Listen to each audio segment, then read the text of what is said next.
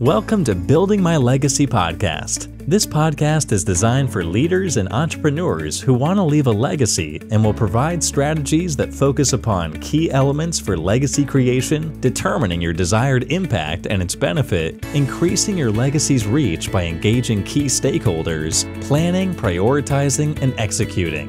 Here's your host, Dr. Lois Sonstegard.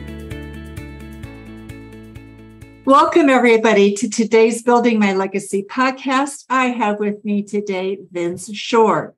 Vince is CEO of the National Financial Educational Council, and I'm going to have him explain a whole lot about that because I think in today's world it is huge. It's huge for individuals, it's really important for businesses.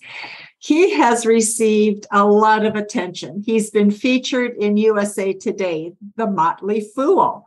NBC News, The American Banker, The Nerd Wallet, NASDAQ, Market Watch, 401k Specialist, Financial Advisor. So, to make a long story short, he has gotten a lot of t- attention because of his credible and really useful uh, approach to what he talks about.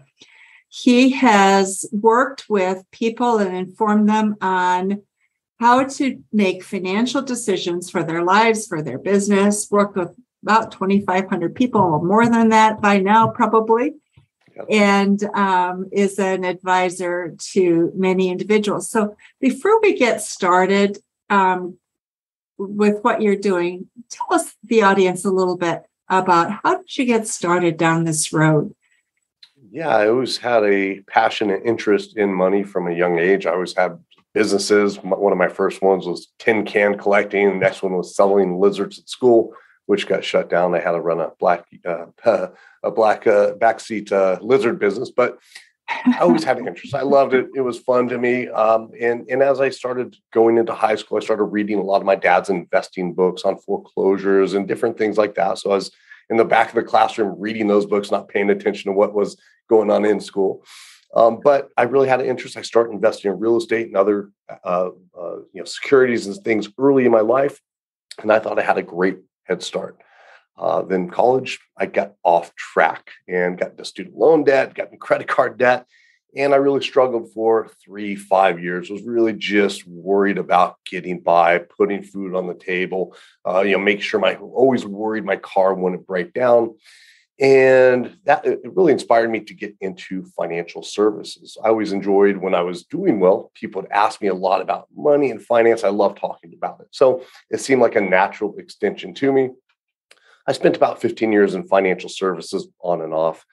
And uh, uh, then i was just at a time where i was lost. I'm like really felt like okay i have my finances in order. I really want to look toward that legacy right um, and in a conversation with my mom, I went up and visited uh, my parents, and she said, You know, in, in high school, you always talked about how frustrated you were that they didn't teach money uh, in high school. And that really spawned and, and really reminded me of that spark. And since that day, I turned my focus here toward the National Financial Educators Council in 2006. And we've grown into a company that is focused on promoting financial wellness, well being through education and really just empowering people with the mindset, the knowledge, and the behaviors uh, to make better financial decisions so they can live their legacy earlier so they can work toward uh, those goals that they have at a younger and younger age. You talk about financial literacy. What does that really mean to you?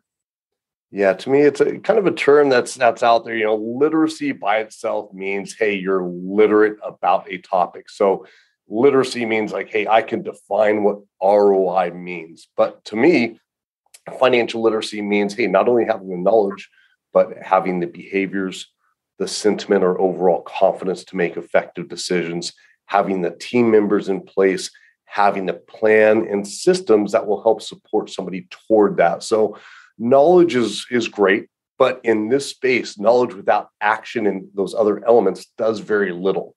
So we really want to look at the holistic version of, of what we've referred to as literacy um, and work help people work toward financial wellness. And what I mean by that wellness is where people are comfortable, they're secure, they're able to do those things and, and pursue those uh, chapters in life that they need to. And you need money to do those things, right? And I, I know a lot of people say, hey, there's free things to do. You can go to the beach and all, but everything costs. There's nothing really free, whether it's paying for gas, parking, things do cost money. So we want people to be able to live that life um, and have that security they need to sleep well at night. You know, that security to sleep well, eh, that's huge, right? Yes. Um, literacy is huge. Uh, but we don't we don't teach it at any level. We used to have really fairly robust programs in high schools on business. And maybe it involved largely knowing how to balance books and do doing bookkeeping, but at least that was something. True. Yeah, and I don't know why that's changed. I I look at the last hundred years of education. Most of it's been the same, the same core subjects: history, English, sciences. It's the same core subjects. Now, for a little bit, they had home ec, which was popular 60s, 50s, 60s. Um, and earlier on, it was you know, they had some version of that where it was more, hey, how do you plant in the, the agricultural time? Um, but we've really gotten away from that. You know, when I look at my high school career, I use very little. I have absolutely no need for algebra. I have absolutely no need for a foreign language, right? I enjoyed learning Spanish. I of people speak Spanish around me. I didn't need to know it for any business thing. Uh, I could care less about chemistry, biology. I have some interest. I'll turn on, you know, Netflix, watch a documentary on the minks in Antarctica. Yeah, it's interesting, or the photosynthesis, but it does nothing for me. And yet the subjects do benefit maybe, you know, 10, 15% of people going into the sciences, going into mathematics and so forth, but it alienates a huge amount of people like myself. I had absolutely no interest in school because of that. And these kids, you know, financial literacy and personal finance is something that benefits 100% of students.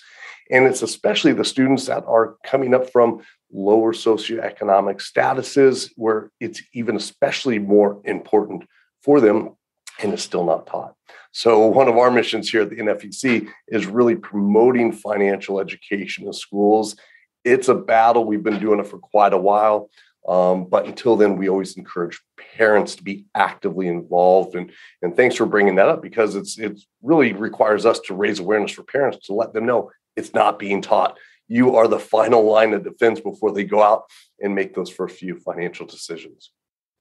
You know, we're right now, we're really caught in hot debates over what is appropriate education, right, in the schools. Yeah.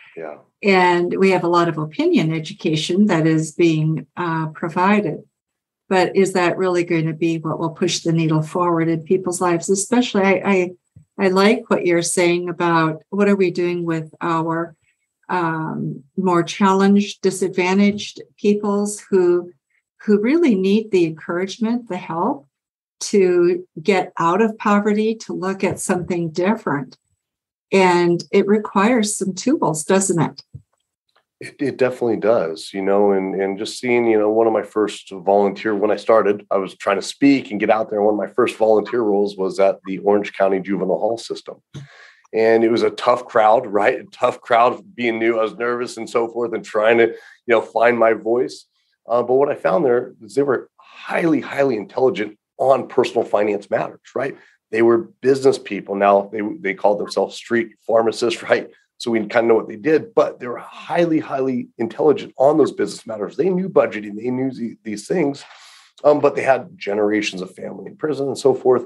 And it's like just being able to shape them into a, a you know a, a business that has a lot less risk and that's good for people. I remember one student still to this day, and he loved working on cars, right? Loved it, worked on everybody's cars, family's cars, and he just that was his thing. And we had a class on, hey, what, what do you enjoy, right? And I, I, kind of walked him through the process of starting a business. And he's like, you know, I never thought of that. And it's, you know, he's thinking, oh, I have to have this big corporation. It's like, no, just start doing cars, take some photos, put some things, share them with your friends and family, then start to charge. You don't need business licenses, all this stuff. You can worry about that later right now let's just start to shift your time to this that's where your skill is that's where your passion is but he had the foundation there already. So I think schools, it's really important, especially in homes where they may not have a, a great role model. Schools need to take that ownership and say, hey, we're going to help transform you. We're going to teach you 21st century skills so you can get a job so you know how to talk to potential employers. So you have your resume in place. And so when you do get a job you know what to do with that money. So you're not having to work that job you know for another 80 years if it's not your passion type project right? Um it makes logical sense to me but i don't know why they want to you know bring in all these controversial subjects things like that. It's like hey we know this works. And most people want personal finance taught in school. We do a survey each year and says hey do you wish you were taught about money in school always every year over 80% said yes i wish i did. And we do a separate survey that says should it be taught in schools? The vast majority of people say yes it should. Um, so i think we have the the the the you know we're on the right side of the uh, push. Um, it's just getting into these things that are so you know there's so much red tape and and different stakeholders are fighting that. Um, we really need to make that happen. And, and even the states that do bring in financial education it's at such a low level they'll be, you know do like five ten hours of training before they leave. It's too late. Kids are developing habits by age seven to nine on their finances and we wow. need to shape that from an early age and then prepare them for real life decisions that they'll make. Student loans moving out on your own what accounts to open how to manage those before they leave the security of that family unit or that school unit. I remember years and years ago years ago now you had this was an elementary school you had bank accounts and you would come every friday and you'd have a certain amount of money that you could deposit into a bank. And you, would bring the money the school would then deposit into your account. And you would keep track of what happens when you do that I remember that as a child too. My parents, we had an account with World Bank. I don't know if they're still around, but I remember the globe and the, my, my passport. And then I'd go in and, you know, I'd get excited when I see a couple pennies of interest. I'm like, oh, wow, you know, just it was an exciting thing. And my mom was like, okay, bring in your allowance here. We'll put this in. We'll look at your account. I mean, that was valuable experience to me. And it's those simple things parents can do, those teachable moments. Hey, you're out shopping with kids and saying, hey, you know, here's why I'm choosing this soup over this one it's healthier, but also this one's cheaper per ounce, right? So getting into those teachable moments, um, it doesn't have to be the formal, hey, let's sit down and study finance. We can do it at a lot of times. So there's a lot of those moments available for parents. And for a lot of people, it's using the teachable moments because they're not sit down learning types of people. Yes. They're experiential type of people. Talk a little bit about business. We also don't teach entrepreneurs how to have a successful business. And so we see a lot of businesses failing. Talk a little bit about what are some of the basics and are those things that you provide? Definitely part of, you know, I think, you know, as when we look at financial literacy, we look at income. You need income to manage money. So business, career, that's the you know the backbone to being able to manage anything right? Um, so i think it's an important thing um, and uh, you know entrepreneurship is key and there's so many opportunities today for people to learn business from a step-by-step you know way. So you can do those side hustles people call them you know the ubers those things but that can help build the business basics. And as you and i talked before the show a lot of it comes down to how we budget and our cash flow right? So those management. So when we can build these skills in small ways. I had many businesses before this. They weren't huge successes. Um, and, and they were just kind of passing the fleeting moments, nothing I really wanted to really build. Um, but I learned a lot along the way, right? How to communicate, what systems do I need? Um, you know, how to separate my, you know, business side from my personal side, how to know what was really coming into the business and was it viable to continue. So all these things you can learn along the way the other great thing about you know uh, business education is there's so many ways to learn shows like this books authors you know short youtube videos there's so many ways to learn today uh, people can really find that person that resonates with them listen on a consistent basis and, and follow those those steps um, and i think that's a critical skill uh, uh, you know just for even employers a lot of employers are looking for that entrepreneurial minded type person in fact our COO, Trevor Stoll, Uh, he actually was an intern at University of California, Riverside, very entrepreneurial minded. Uh, we were doing a lot of different college things. He reached out and said, Hey, can I do something on my campus? Right. Um, that's how he started. He went to graduate school, circled back. He's been with us 12, 13 years now, um, and just grew, you know, from that, you know, thing. And he set up a great event, you know, booths and people went by. But that's very entrepreneurial spirited. And, and that's what I look for when I hire people. Hey, can I give some some guidance and some idea where things are at? And can you put together the pieces and add in your own flavor? So I think even to be successful in a job, uh, where you're not worried about losing it uh, when you're bringing those entrepreneurial skills in. That's that's a key. Uh, in addition, for people that want to start businesses, there's so many opportunities, as I said earlier, whether it be that big scale legacy project you want to work toward, um, or those stair step businesses that are good building blocks for what you need for that legacy project. So right now, Vince, we see the economy taking a nosedive a lot of pressures for for individuals, pressures for businesses. So, what do you say to people in terms of how do you manage that? Does your thinking change? Do you approach things differently in these kinds of times, or what is it that you do? Yeah, the, the first thing I do is I, I want to, you know, I've just seen so many times when things go against people, and I'll just share my own personal experience when I was in college and saw these credit card bills coming in every month um, I did not want to look at the bills. I did not want to open them. I did not want to face them. Three, four years before, when I was getting rent checks and my portfolio was going up, I was as soon as they came in, I would open those things up. I'd want to look at them, right? Um, so when when something is not going your way, oftentimes we want to shun it. We don't want to look at it. I mean, it's tough, especially now. A lot of people, you know, they're just getting ahead. You know, they're just seeing the end of debt. They're seeing, you know, this blue skies and then inflation, then you know the recessionary pressures, then you know gas costs. All these things are just bearing them back down, and it's scary for people, right? Um, so first, I want to acknowledge you're going to feel that way, um, but it's also important to stay focused. It's I think an important time to reassess your budget. Um, because a lot of things have changed in a year, year and a half. A ton has changed. The cost of goods, everything, your budget that you had two years ago is no longer valid today. So take a look at that. Um, I know it's hard, um, but that's the critical foundation. So you know, hey, what's coming in, what's coming out, um, and make those necessary changes. Also, it's a time that we have to face. You know, not there's really no fun decision. We can either cut back spending or we can earn more right? So it's either work harder or work more and cut back spending, right? So it's it's there's there's no like fun decision. Uh, that always makes it more challenging for people to face that. Um, but I think it's critical, especially during these times. We don't know how long these pressures are going to exist. We don't know what the future holds. As we saw with COVID, things change overnight my thing is hey i want you secure and not have to worry and starting to prepare in case anything happens in the future. So i would say right now to people again i wish i had the golden egg that would just make you feel better lighter and, and just you know ready to tackle it. But it, it's going to be something you have to open up that envelope. You have to look at what's inside. Um, and it, once you start some momentum and working toward progress you'll get you know that that moment. At least i feel a little more encouraged as i'm starting to see little progress. Um, and you know just uh, hopefully you can let the past go. It's very tough.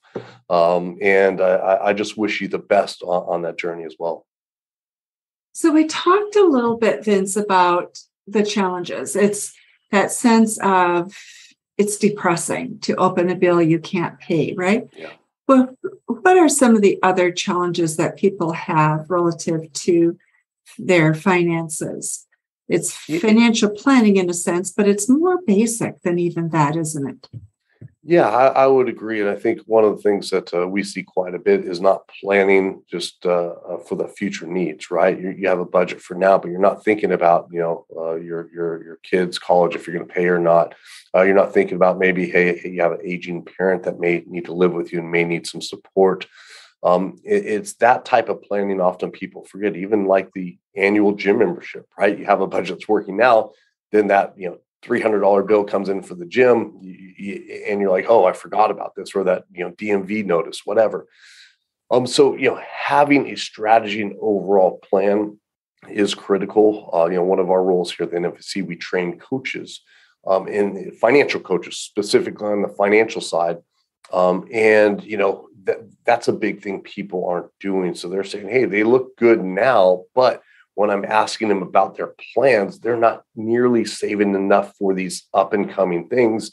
And what happens when they get there? Well, it either goes on a credit card, comes out of savings, or comes out of retirement, which messes other things up. So the more we can look ahead, the more we can plan and strategize, uh, the better it is. And uh, same thing with business too. Um, as, as, you know, it's like in, in, the manufacturing business you came from, if you didn't plan four or five steps ahead, maybe the cost of goods are rising or things, you could have been in serious trouble. So uh, I think it's personal finance is a great skill set to develop for business finance and managing that business so it's going to scale and, and continue to, to prosper. that whole scaling to prosper is huge and and yet we make decisions that don't always align with what we want in our hearts? We want we want to succeed. We want a business that thrives. We want to have a personal financial life that that does well. What is it that keeps us from aligning our, our actions with what we want yeah, I think there's a lot of factors that go in there. One of the biggest ones we see is just you know habits and consumerism type habits, right? And they're formed young. Uh, you probably see this, but you know they're advertising to little kids, very highly sophisticated ads to make purchases. Hey, you need these shoes to be cool. Look at all these kids frolicking with all these new clothes and and so forth. So there's a huge amount of pressure on kids from advertisers we see social influencers as well that are kind of piggybacking on that.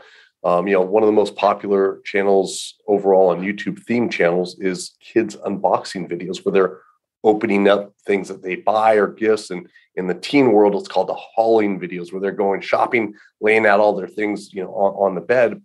So we have a huge amount of pressure to buy you need this to have esteem. You need this to be cool. And then you see your friends with the clothes and, and so forth out there that uh, have that. So i think at a young age you know people are always trying to keep up with the joneses. If uh, i go back to older saying but for those uh, younger listeners it means keeping up with your neighbors. And back then you know in, in the 50s and in early 60s when this term was very popular it was keeping up with the neighbors on your street if Frank got a color TV, you got a color TV, right? Or they got a new car, you got a new car. That, that was it. But now the Joneses are really a global thing. You have friends in all over the world. You're seeing content from, you know, all over the country, all over the world as well. So there's this much higher level of Joneses. And and again, the ads toward kids are just is very sophisticated. So I think a lot stems from hey wanting to have that persona you know, I think some of the most successful business people, if we look at, you know, some of the people that did their work in the garage, uh, it was Bill Gates and, and, and the Apple gentleman. Uh, we look at, you know, other people that, you know, really kept their overhead low.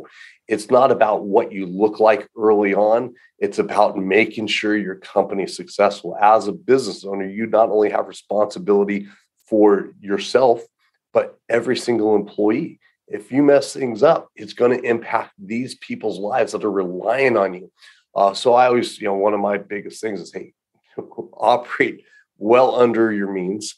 Um, this way you have the freedom to do so. And I come from the mortgage industry uh, 15, 20 years ago. And all my buddies in there, you know, they they saw all the credit reports come through. They saw the p- trouble people got into. They saw all this, and yet what did they do? Car, house, boat, ATV trailer. And when rates went up, like we're experiencing now, you know, the, what did they sell? Boat, car, you know, or lost, right? So all that thing, and they saw this over and over. I never understood it, but I, you know, what in my communication with them is largely just, hey, I wanted to have this because everybody else was getting, I, you know, I want to have fun too, but it was more everybody else was doing it. Um, unfortunately, I didn't get in that trap. Uh, I've always been quite frugal, um, but there's people that aren't right um, so i say hey just make sure you're living well under your means especially in those early years of starting a business there's a lot of things that can come up economic challenges Um, just you know, a big client goes, uh, you know, maybe a marketing thing dries up for you. So how do you ensure that you're going to prosper in the future? It's by getting through those challenges that every business faces, and how we do that is making sure there's more, uh, uh, you know, uh, money set aside that you can pour toward that if you do choose. You know, we hear so much today about um, having that successful life, and so in business, it's having that what the the laptop lifestyle. Yeah. And um, I, I have heard it so much, and I have seen people's work habits that have that belief system that if somebody uses those words, I go, stay away because it means I'm paying for your vacation, not mine. And very true. Right. And but we have a different expectation. It seems we've we've sold a different expectation to people. It's like, of course, everybody should and does deserve this laptop life, but it has to be earned. I agree, and I think you know too. I, I, when I go to these high schools still and talk to these kids, a lot are hey, they're looking to be that YouTube star. They're looking to be that. It's like okay, wonderful. Just like that, you know, we did a lot of work with professional athletes. It's like hey, great, go for it, right? But let's make sure there's a, some other plan in place so that hey, if you're not that next YouTube star, that Logan Paul or whoever's out there, um, you know, you have a plan in place uh, to to go to, right? Um, and I think it's always you know important. Hey, if they want to work toward whatever it is, as long as you're not you're actually working, right? You don't live that laptop lifestyle unless you're actually working and earning money. You can live that for very short periods, right? And people do.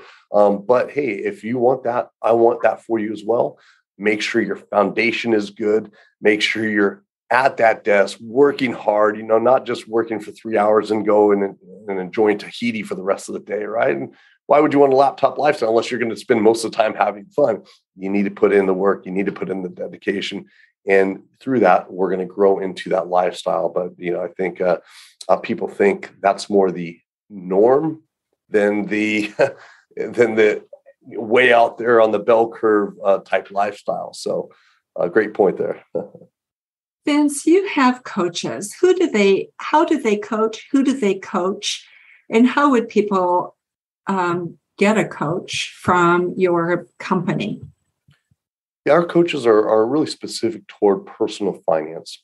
Okay. But we also understand that behaviors, other factors play a huge role. So, you know, we're just not looking at the analytical side, the numbers and dollars, we're looking at, hey, what are your goals? And a lot of it is, you know, that that discussion, right? A lot of people don't talk about money. Uh, we do a deep analysis. Our coaches do. They look at 31 indicators of your financial health, right? So we have a full picture on, hey, where you're at. And I always say the coaches know more about your finances than you ever did. In addition, more than let's say your realtor, your mortgage broker, anybody else, simply because we're looking at your overall finances, not just one product specific.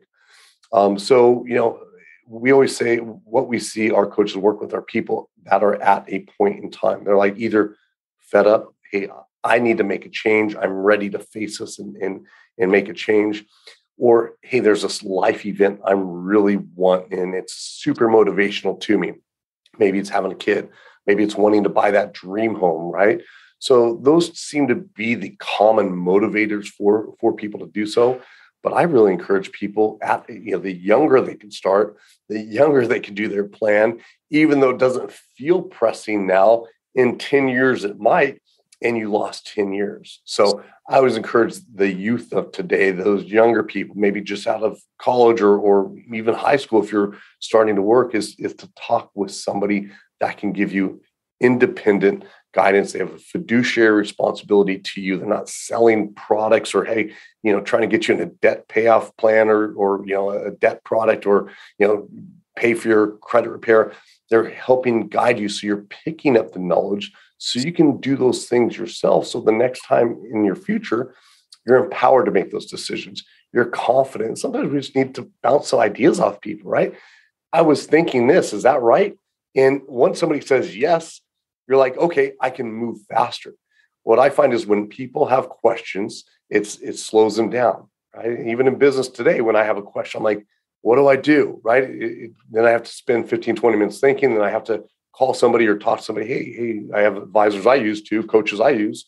What do I do here? You know, this is my challenge. I, you know, have these two options. What should I do?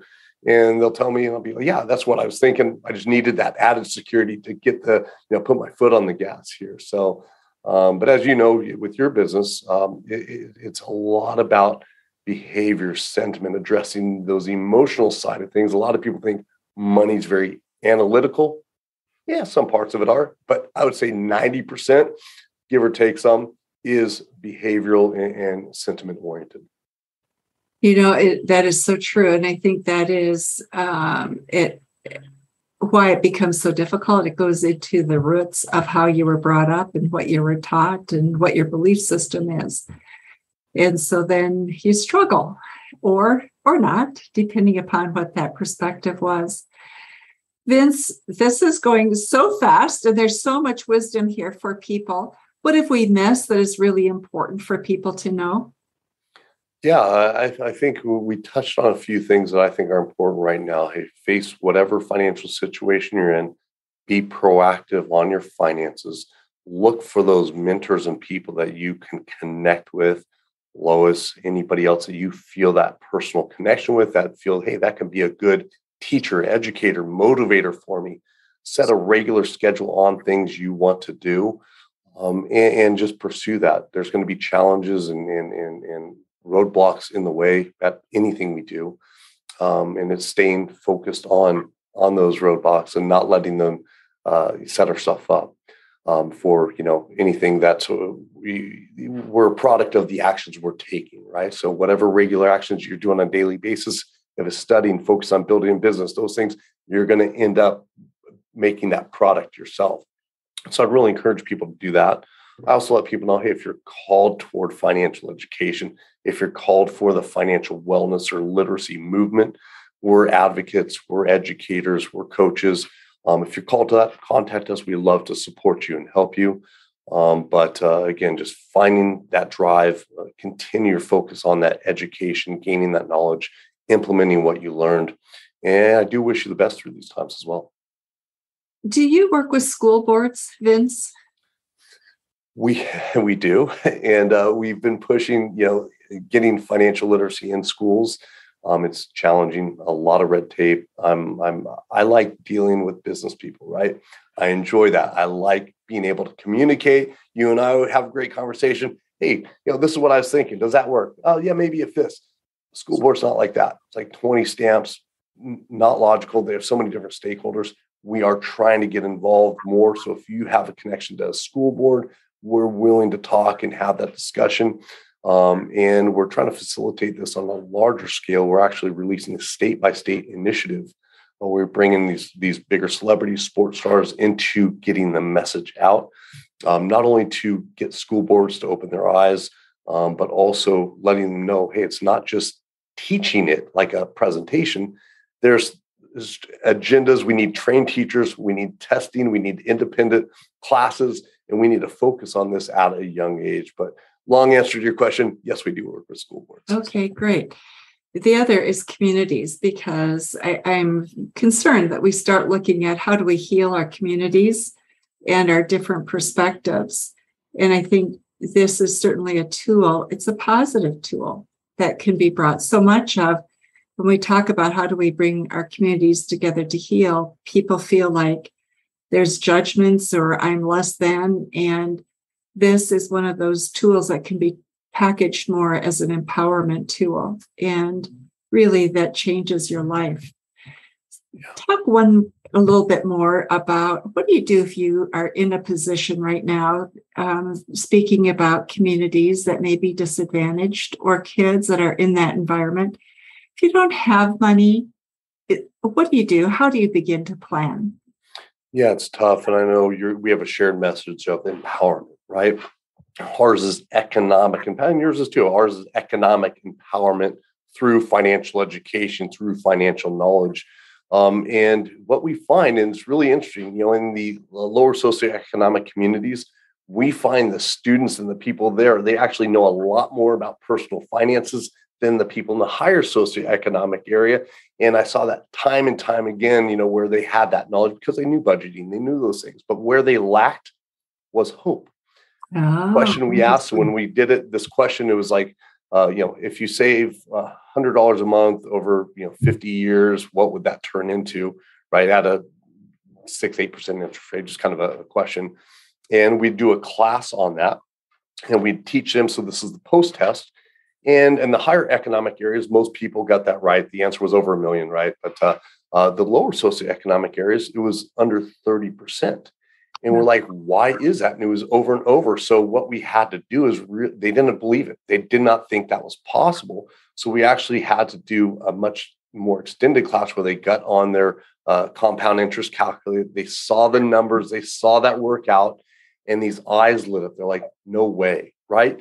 But when we trained in a class just out as we normally did, it just kind of glazed over. They, they didn't really believe it. But when we had them experience, that's possible.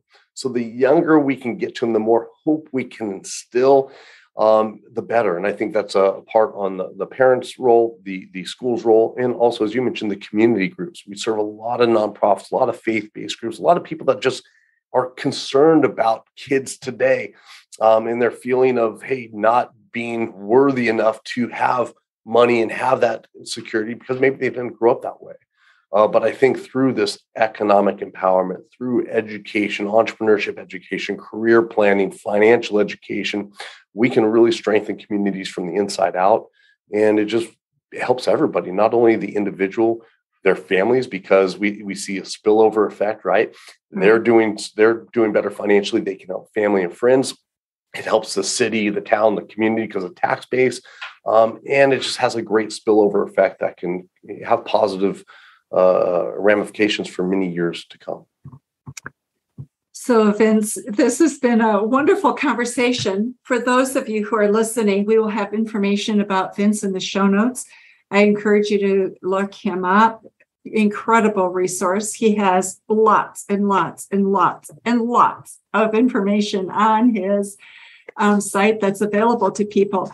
And then, of course, his coaches. So, um, please feel free to to look at that and to use him as a resource because we can get through this economic time if people choose to gain financial wisdom and here's a great resource so vince thank you so much for being with us today it was great being here And thanks for having me and i appreciate all you do for the community you are so welcome. And for those of you who are listening to Building My Legacy podcast today, thank you for being with us. And remember to visit us at our website, buildtomorrow.com with the number two, and also start with collaboration. So, again, Vince, thank you so much. Thanks again. You've been listening to Building My Legacy podcast with Dr. Lois Sonstegard. To book your appointment with Dr. Sonstegard, visit www.buildtomorrow.com.